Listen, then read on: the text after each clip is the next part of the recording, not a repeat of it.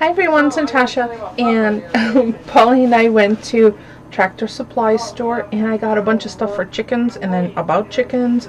So I'm just going to share with you what I got. And um, when you see my hands, don't judge. Polly got me these as an early present. Because he knows my hands sometimes get cold, but I still need to type or text or use my Kindle. So isn't that cute? And uh, it matches my nail colors. So let me show you the first thing. I'm going to try out this feeder.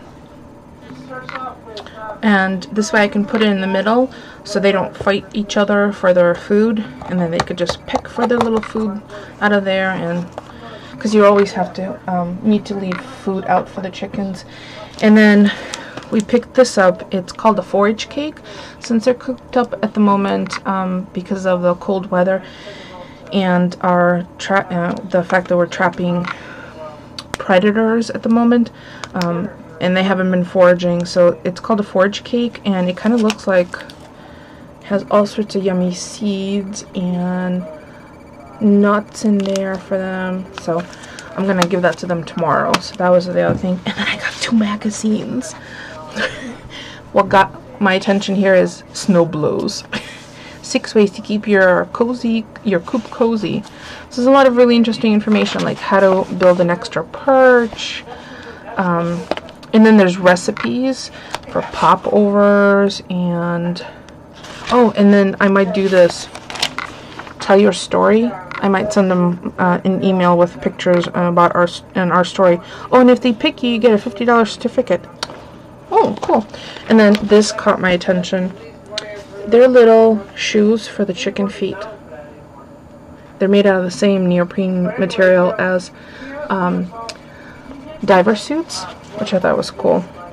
And there's just general information, um, different types of chickens, um, how to care for them for, through the seasons.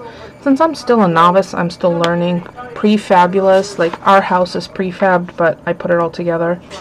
And then, oh my gosh, unusual bird types. Look at these. Not funky. We have porpoises. What? I'm recording a video, Polly. Don't, don't you love when you are in the midst of something and suddenly you're urgently needed to uh, uh, answer a question?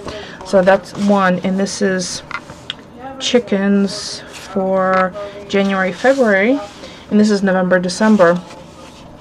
And stressed out. And we have one of these chickens. It's um uh, Americana. Look at the little chick. And then I was paging through and I think it's in this one. I found out that there's a poultry show uh, at the Big E grounds in Massachusetts which is like maybe 15 miles away from us 20 miles away from us so we're gonna go it's January 19th and 20th oh and how to compost your uh, bedding from the coop. So I'm gonna, I'm definitely gonna do that because we compost the other stuff as well. So learn how to do that. Uh, chilly chickens, how to care for them because of the temperature changes. Unusual breeds, Iowa blue. That's kind of cool. So there you go. Very rare but tasty. And then there's some helpful information on sour crop. I've never heard of this. At first I thought it's a sauerkraut. I'm like, why are they saying chicken? kraut? But it's a part of their digestive system that you have to kind of keep an eye out for. But so there you go. There's my chickens, my forage cake, and I got a couple other things, but they're already in the coop. And then this feeder, and I didn't want to put the feeder in tonight, so I'm gonna put it in tomorrow. I think this was six dollars, five ninety nine or six ninety nine. I don't remember now. So there you go. Sorry about the yelling earlier, but oh, warm fingers.